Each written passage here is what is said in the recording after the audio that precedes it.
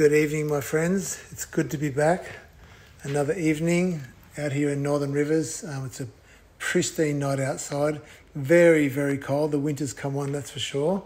Um, I've had to relocate down to the stables as there's a frenzy of cooking going on up in next to the fire in the kitchen. So a little bit too much background noise. I'm down in the stables. Um, it's nice and peaceful down here not a sound. And um, let's get on with it. We're on to the next chapter. Lord of Water, the next chapter, chapter is chapter 10 A Formidable Team. Max and Pei disappeared to their quarters after a full night at the helm. Somewhere between, Gary must have snuck in some sleep, for he was fully awake and on the job. He gave control of Hi-Sun over to Mila and gestured that he would not be long. Mila looked calm and confident, and Hi-Sun did not flinch one bit.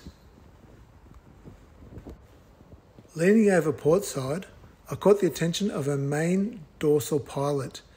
He seemed to be holding the line with his team comfortably gliding in harmony with our driving keel. The slicer sharks kept wide on either side. Although giving the appearance of constant danger, they demonstrated a definite fear and respect of our dorsal pilots, braving only the outer limits of our driving wake.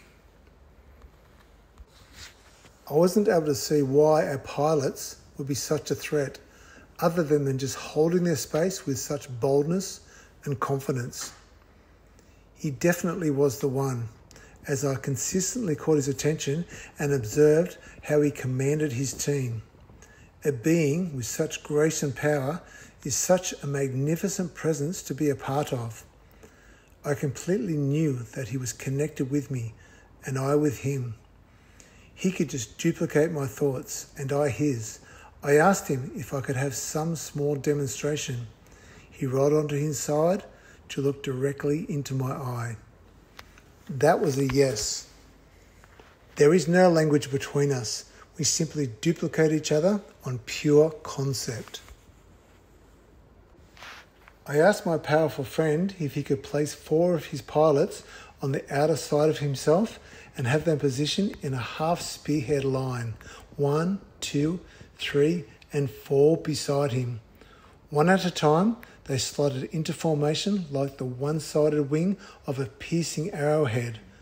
I couldn't believe it and this occurred so instantly that it felt as though they themselves were now each one of them following my command.